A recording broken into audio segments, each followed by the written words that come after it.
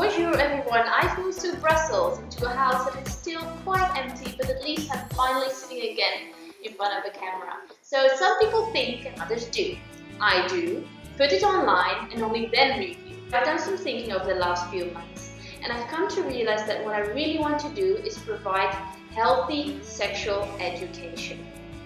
Because the main source of information about sex nowadays is from watching porn. Well, porn is a fantasy. It's an entertainment industry. What I will do is shoot one minute videos, I don't believe I can keep your attention for much longer, about sexual health. So check out my new renamed site healthysexed.com.